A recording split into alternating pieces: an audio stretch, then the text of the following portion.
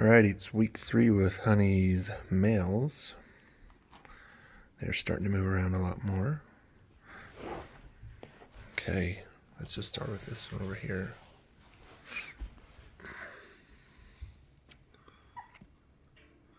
A little white on his face and his chest, on his paws. Okay, all four paws. A little on his nose. Okay, there. Okay, let's grab this one. A little white on his nose. A long string of white on him. Like, let's look at his paws. Nope. There we go. His back feet. He doesn't like that, does he? Toes are white on the back too, and that's it. Front paws are solid black. Okay. Hmm. This guy's got a solid black face and three little white dots. and then his toes are all solid black. So he's very solid black. Okay. Hey, buddy. Solid black face white on his chin and just a little black spot or white spots. His front, a little bit of white on that toe, but on the back. Okay.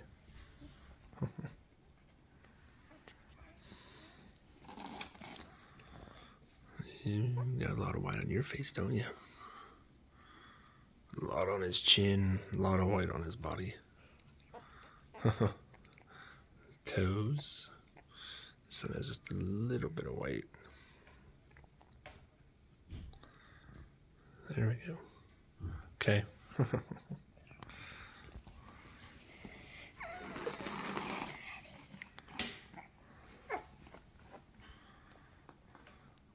white on his nose, white on his chin and his chest, and then white on his toes. Let's see his bottom toes.